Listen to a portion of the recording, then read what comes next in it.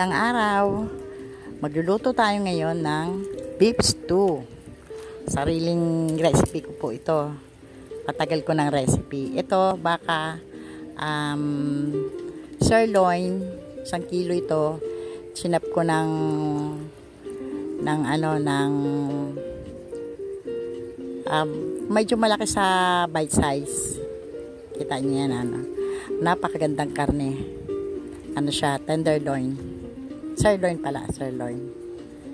Ngayon, lalagyan natin siya ng babad muna natin siya ng konti ha sa toyo. Toyo, tapos bawang. Yan. Lagyan natin ng konti ng kalamansi. Kaya lime. At anong citrus. Tapos, um, oyster sauce haluin natin. Eh, siya na kayo isang kamay lang dahil lang sa kanang kamay yung nakabidyo yung one month ban tayo alam nyo na. Oops. Yan. Um, babad natin siya ng mga kung nagmamadali kayo kahit mga one, one hour. Ako binabad ko na to tapos i-stack ko sa sa fridge sa freezer tapos itotaw ko ng kinamagahan. Pagka malambot na malambot na siya, doon ko na siya isasalang para ano. Kasi may lakad ako ngayon. So, prepare ko na lang siya para bukas. Basta i-frozen sa, sa freezer po ah. Yan. Ngayon lalagyan natin siya ng ito po ang chili paste. Chili paste chili, hindi po siya ano, hindi, excuse me, hindi po ibig sabihin na chili, chili base maanghang po ah, hindi po. Uh, papakita ko sa inyo mamaya ang ano, ang ang botelya para kung halimbawang makapunta kayo sa mo, sa grocery, yun ang bilhin nyo. At garantisado po, hindi lang hindi lang sa recipe na to pwede nyo ilagay yung kahit ano, mag, magkaldereta kayo, maggagawa kayo ng ibang recipe, pwede po kayo sa ano yung, yung ano na to. Kasi ako, halimbawa, wala akong magawa, okay na po ito. I, ibababad na po natin siya. Pwedeng for one hour, at least one hour, ako ilalagay ko muna siya sa freezer kasi nga, para bukas pre preparation ko. Ito pa sinasabi ko sa inyo, chili Thai paste, hindi po siya maanghang, promise. Masarap po siya, masarap. Pero kahit sa mga buto-buto, ibabad yung parang ganito procedure. Tapos, ito, kahapon, ngayon, inano ko na. Tinaw ko siya para lumambot. Hindi ko siya inanuhan ng tubig ha. Kaya pagkagising ko sa umaga, nilabas ko na siya ngayon malambot. Ma, wala na yung frozen. Pagka frozen niya, nilagay ko dito sa ano na to. Sa kaserola na to.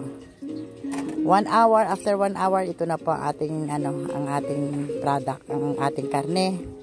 Medyo malambot-lambot. Sa mahinang-mahinang apoy lang po. Walang bukasan. Okay na po siya, oh. Pero pwede nyo naman, pwede kayong kumamit ng ano, pressure cooker. Ako kasi, kapiragot lang naman to, 1 kilo lang naman to, magpe-pressure cooker pa ako. At saka iba po kasi ang luto ng slow cooking. Ngayon, mag magsasangag tayo ng sesame seed pa-brown po natin siya ng konti para para lumabas po yung aroma ng ating sesame seed.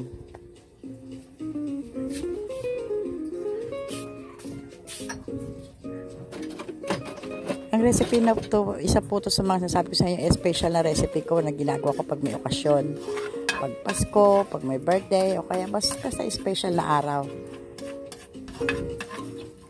Kaya, para sa inyo po ito, para sa Pasko nyo, sa Christmas nyo po. Hindi po siya masyadong ma, maabubot, ma, matrabaho. Yun, binabad nyo lang. Tapos, ipa-fry nyo lang yung mga, ito, kagaya ito, ipapa-brown natin. Ito, pwede na yan. Pero, mas maganda yung medyo mas brown-brown pa. Para talagang maano natin yung aroma ng ating sesame seed. Ito, pwede na to. Ayan, oh. Ayan, mas brown siya, di ba? Okay na po to. Ngayon, magpiprito, piprito naman natin ang ating mga patatas, okra, at saka ating bell pepper. Yung bell pepper natin, papadaan na lang natin ng konti, tapos ahon agad.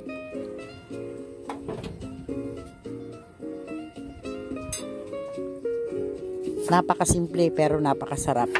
Hindi mo isipin na pang pang ano, pang panghandaan pala itong ano natin kasi napakasimple lang talaga.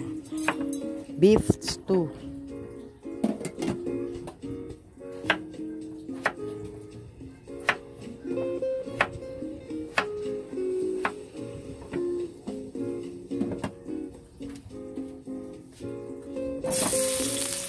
Um, prito na natin ang ating patatas. Kasi iba ang, ang ano po, ang taste ng piniritong patatas kaysa sa yung basta na lang natin ihulog. Iba po yung pinirito muna. Kaya, kahit yung mga carrots. Pagka maano natin itong mga tumaprito natin lahat, wala na hulog na hulog tayo ng hulog doon sa ano, sa ating karne.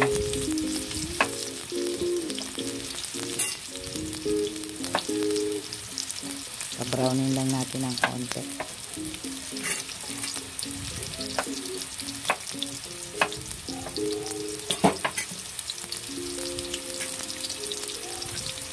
ano na ba nabigay ko sa inyo yung humba uh, pork asado ito sa susunod naman ano estofadong baboy. Pork estofado.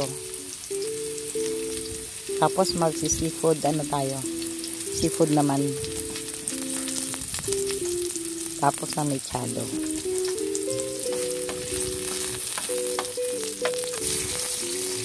itong ating uh, bell pepper padaan na lang natin siya ng konti tapos ahon din agad natin. Para hindi mag pag iba yung kulay ng ating bell pepper hindi siya malata pagka natin nilagay na siya sa ating ating dish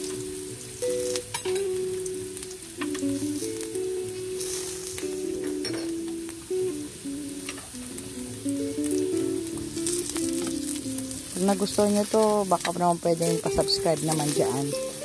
Para inspirasyon ko naman magluto, magluto pa sa inyo, magbigay ng ibang gusto ko lang talaga, mahilig lang talaga ako magluto, kaya hilig ko lang, gusto ko lang ma-share sa inyo ang aking ang aking kaalaman sa mga nalalaman sa pagluluto. Yun lang naman.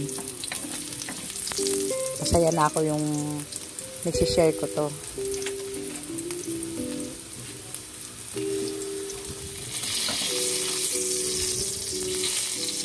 Eh, ako nga, eh, pag, paglutuin mo na ako maghapon, huwag mo lang ako paglabahin. Dahil cooking is my, may ano talaga, may, um, ano ba to? Cooking kasi yung pinaka, ano ko sa buhay kahit nga yung pag stress ka, nag-isip lang ako na maganda, masarap na recipe, magluluto na lang ako.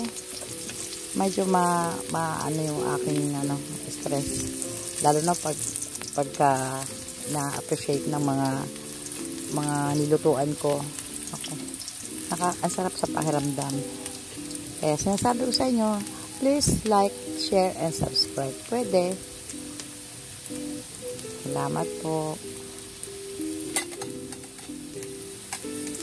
Ito malapit na. Katanggalin na natin siya.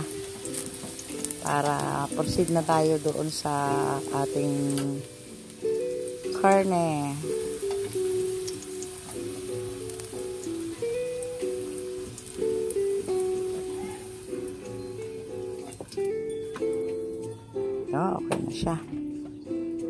Balik na natin ang ating karne. Dapat ililipat ko pa to sa kawali pero pero wag na okay na to dito.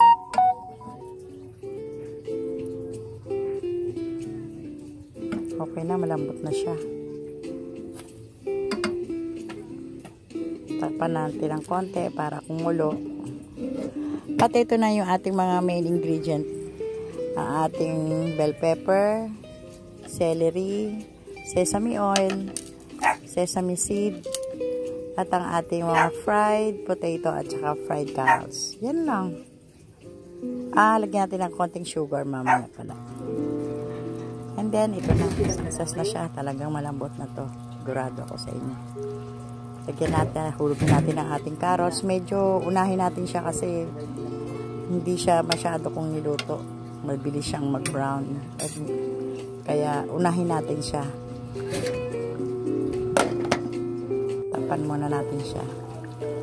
At ito, nilaglag ko na yung karo, ay yung patatas. Ako, mapakabango po. Mas maganda sana ilipat sa kawali para makita niyo mga ano. Kaso,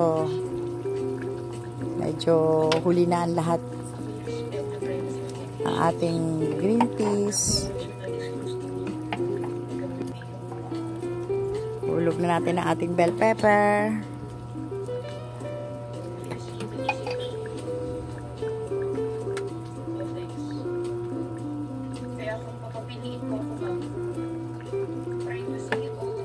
At saka inulog na natin ating green peas.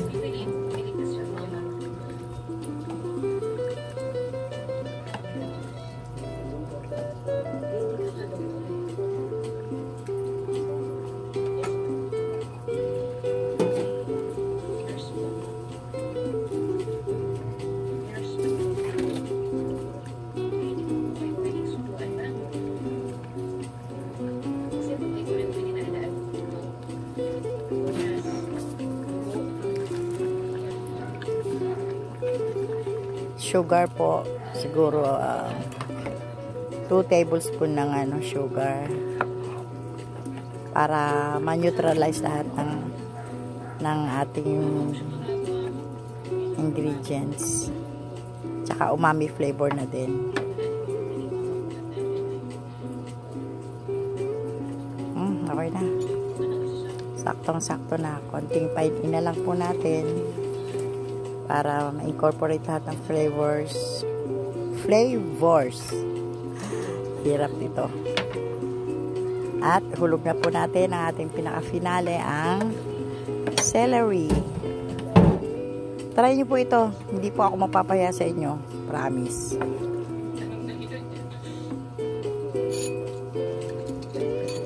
Lagyan natin ng konti. Konti lang po kasi para lang lumapot ang ating ano kasi ko, konti lang lagyan natin patatas. Pwede namang hindi na natin lagyan yon kung kung malapot medyo matubig po kasi kasi yung pila konti lang ating patatas eh.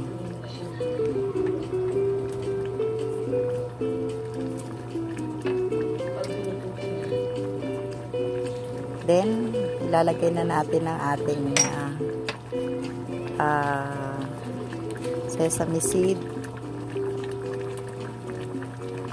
Lagyan din natin siya ng konti toyo para matabang-tabang pa eh. Soy sauce. Saka parang ano pa ang kulay.